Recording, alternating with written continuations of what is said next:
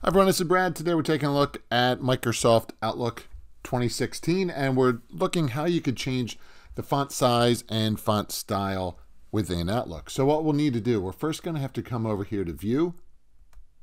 Then you have to select Change View, Manage View, then over here select Modify. Then there we're now going to have to select Other Settings. Now within Other Settings, select Column Font then you can change your font, change your font style, or the size. We're just going to select the size for right now. We'll change it to 12. You can also see how you can select the script as well. We're going to select OK. We're now also going to do the row font as well. We'll change that to 12.